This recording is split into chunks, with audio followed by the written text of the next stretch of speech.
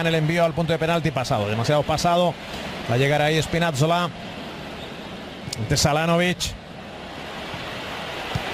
Ese es un gran gol de Insigne. Qué control y qué disparo. Fantástica la maniobra de Lorenzo Insigne. Golazo del napolitano. Espectacular ahí como controla el balón en el aire y sin que toque el césped.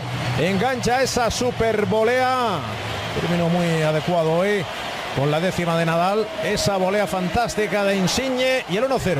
Una jugada extremadamente confusa en el que al final aparece un rayo de sol con el control estratosférico y el remate absolutamente magnífico de Insigne para abrir el marcador en un partido que se le estaba atragantando a la escuadra